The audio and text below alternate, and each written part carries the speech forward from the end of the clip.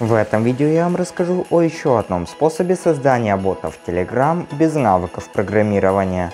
Ну что, поехали. Ставь лайкос под видос на связи лайкус. Прошлый ролик набрал большие просмотры для моего канала, поэтому это вторая часть. Я искал еще сервисы, на которых можно создать ботов Telegram без навыков программирования, так как программировать умеют далеко не все. Я совсем не ожидал, что найду этот сервис на почте для коммерческих предложений. Важное предусловие. Этот ролик не является привычной всем рекламной интеграцией. Создатели сервиса предложили мне подключиться к их партнерской программе, то есть мой доход зависит от регистрации и пополнений моими рефералами. Поэтому смотрите ролик до самого конца. Если вам понравится сервис, то зарегистрируйтесь по моей реферальной ссылке в описании. Таким способом вы поддержите мой канал и создание качественного контента на YouTube. Итак, представляю вам сервис LeadTech. LeadTech – сервис для создания ботов Telegram без навыков программирования. Он также основан на блочном программировании.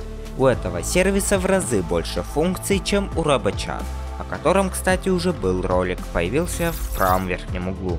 Для того, чтобы начать пользоваться сервисом, нужно зарегистрироваться на сайте. Регистрация довольно простая.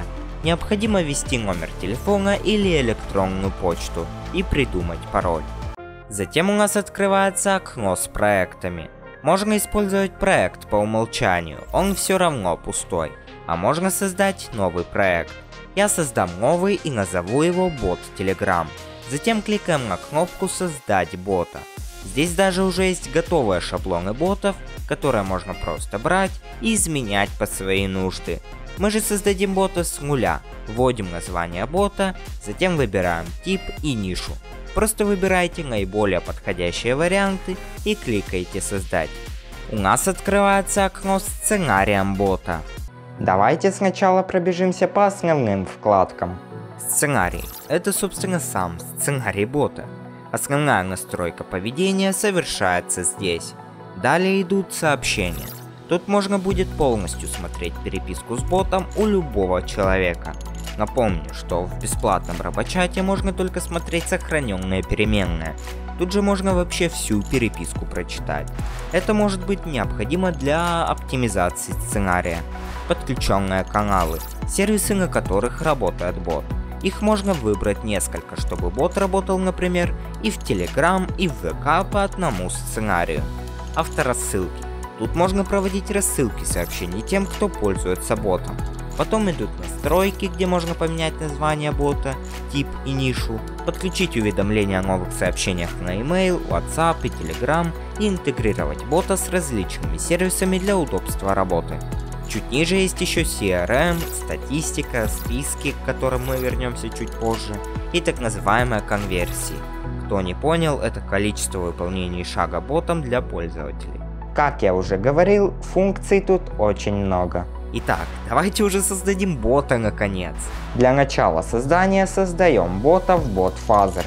Ссылка на него будет в описании. Я же просто вставлю фрагмент из предыдущего видео, чтобы не повторяться. Нажимаем на кнопку «Запустить». Нам выпадает список команд. Чтобы создать нового бота, необходимо нажать на команду New Bot. Теперь нужно придумать название боту. Я его назову LikeUsBot. Затем нужно придумать имя бота для ссылки. Для этого вводим название бота и в конце добавляем либо бот с большой буквы, либо бот через знак нижнего подчеркивания. Раз я уже бота так и назвал, я просто продублирую это же название. Окей, теперь бот-фазер отправил нам сообщение с токеном бота. Теперь нам нужно настроить информацию о боте, добавить описание, что может бот, и поставить аватарку.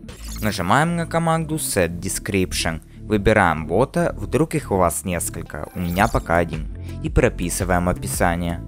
Это описание будет показано на странице с ботом до его запуска. Обычно тут пишут, что может бот. Потом нажимаем на команду Set About Text. Аналогично выбираем бота и прописываем описание о боте. Это графа информация. А затем нажимаем на команду Set User Pic и загружаем картинку, которая будет использована в качестве аватарки бота.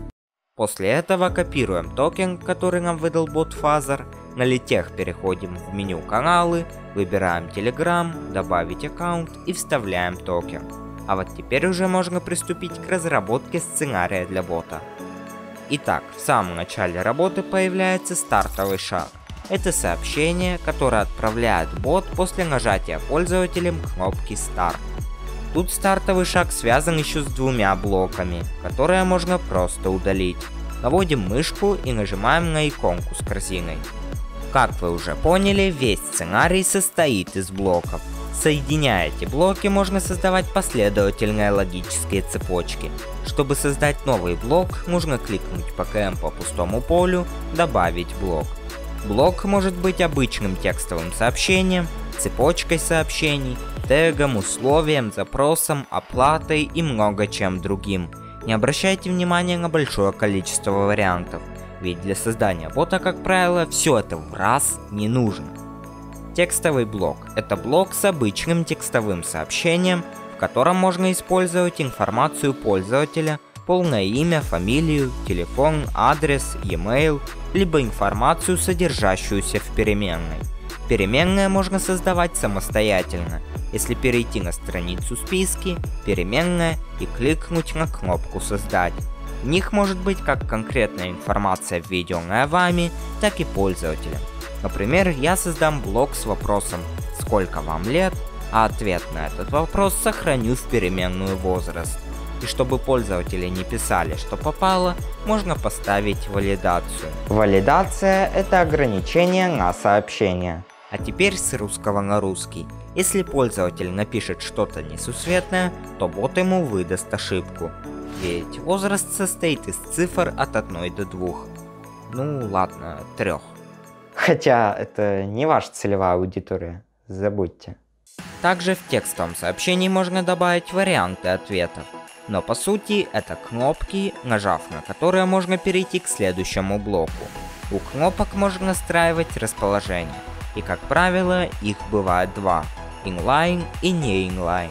В чем разница? Inline кнопки полупрозрачные и находятся под сообщением бота. Не inline кнопки белые и располагаются под окном написания сообщения. Цепочка сообщений, в отличие от простого текстового сообщения, может состоять из текста, фото, видео, аудио или документа и может быть отправлено несколькими сообщениями. Текстовое сообщение такими полномочиями не обладает. Здесь наши полномочия все окончено. А в остальном это такое же текстовое сообщение.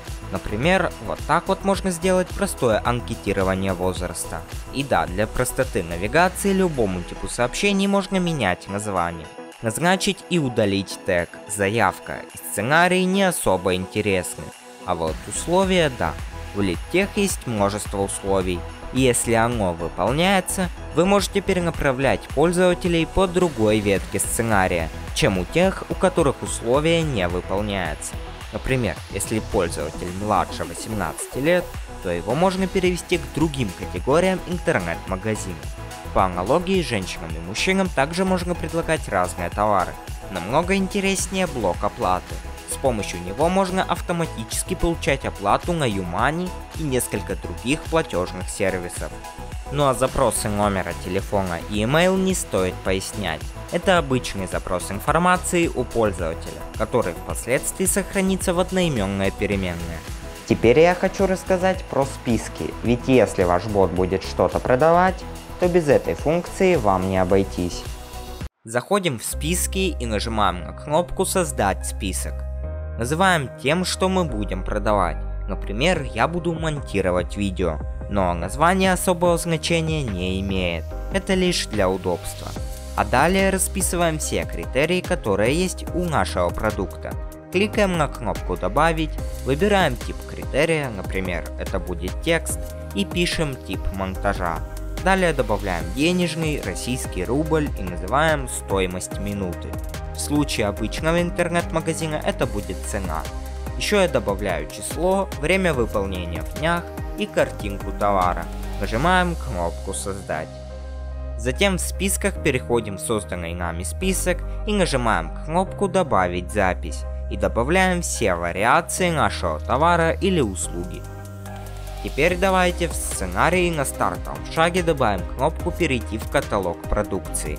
Для перехода к списку создаем блок «Чтение из списка» и соединяем их. В настройках блока выбираем наш список и настраиваем корзину.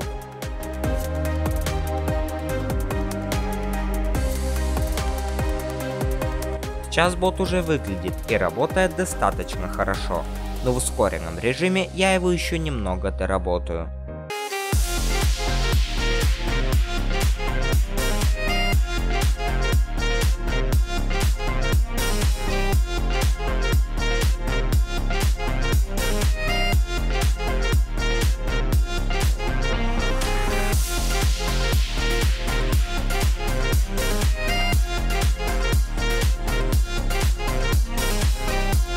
Сервисов наподобие RoboChat мало возможностей, и они довольно нестабильны. Мой тестовый бот, которого я создавал в предыдущем видео, многократно слетал и оказывался недоступным. След тех такого не будет. Но есть вытекающий из этого минус. Сервис платный. Цена обоснована, но такую подписку могут позволить далеко не все. Но если у вас уже есть прибыльный интернет-магазин, либо любой другой проект, то лучше переплатить за более качественное обслуживание бота. Тот же Робочат уже перегружен многочисленными ботами. Это напоминает бесплатные конструкторы сайтов. Сайт полетел и никто тебе не поможет. Бот полетел, ну вы поняли. Ссылка на сервис будет в описании. Ну а с вами был Лайкус. Удачи!